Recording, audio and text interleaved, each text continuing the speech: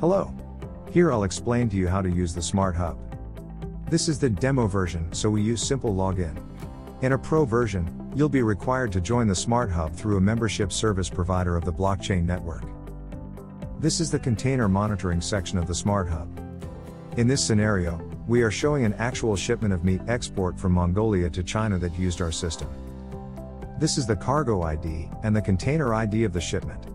In this case, the container ID is the truck's ID number since the shipment done by truck. Here, you see key locations that the container passed through during the shipment. Numbers inside each location indicate time spent on that location. If you mouse over on each location, you'll see when the truck entered to that location and when it exited.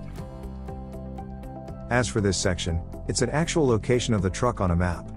If you zoom out, you'll see a trace of the truck. In our case, it started from the capital city of Mongolia and finished at the border city of China. In an area at the top right, it shows the shipment start date, total traveled distance, and the total duration of the shipment process. As for the container condition status, here you see the last temperature state inside the container. Also humidity. Sealing, whether the container is open during the shipment or not. And smart lock status. Here, it says the container opened one time during the shipment. A red number in brackets indicates how many times humidity inside the container breached the tolerable range of the cargo. Same to the temperature. If you click on it, it will lead you to the historical records of the temperature. Here, you can see that the tolerable range of the cargo set by the shipper. You see that the temperature was high before the cargo is loaded to the container.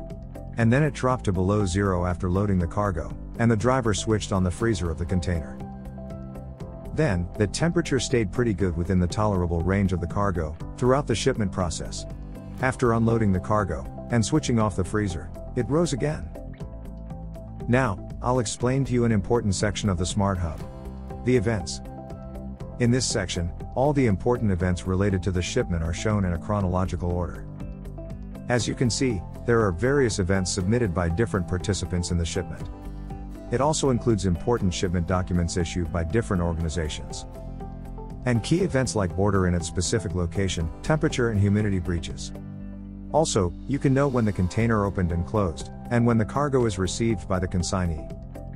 Here, you can see various events submitted by Monex, a freight forwarder company handling the shipment. From the top filter menu, you can see list of participants on this shipment. So, if you want to see events and documents submitted by only one specific user, you can select its name from here. You can also filter out events by its type such as documents events, transport events. If you want to submit event, click on submit event button. From here, you can select from a list of event types for this shipment. Once you select it, you may select date and time associated to that event. Since data privacy of each user is the highest priority of the Smart Hub, it gives full control to its users on data they are inserting. So, you may want to select to whom you want to share your information. Even, this type of data of each user can be stored and managed by their own separate servers and blockchain channels if they want. You may also want to attach picture to your event. At the end, you can add comment if there is something you want to highlight or describe about the event. Same to documents.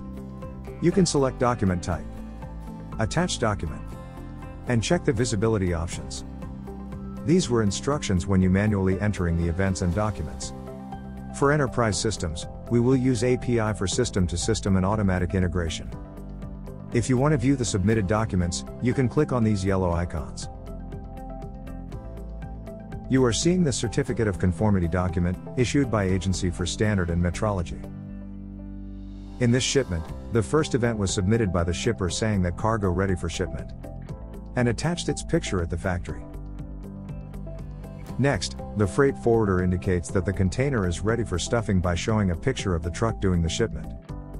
So, all the events in the shipment systematically flowed like this by all participants throughout the shipment process. There are also important features for in-system chat and accepting documents. Let's look at another shipment currently undergoing.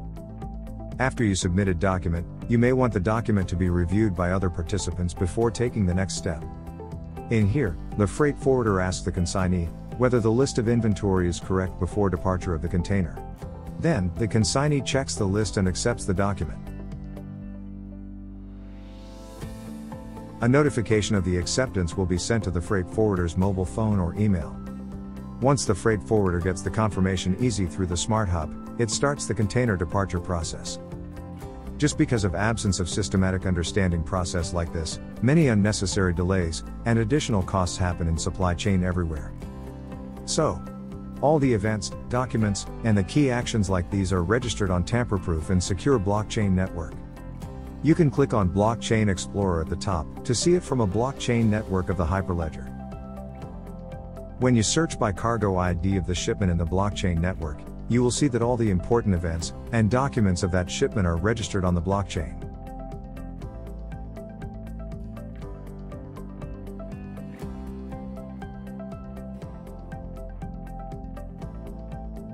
To conclude, this is the unified information flow in a systematic manner for all participants in the shipment. Furthermore, even some of the repeated processes in here will be automated by smart contract function of the blockchain. As a result, we can greatly speed up the process and reduce human errors.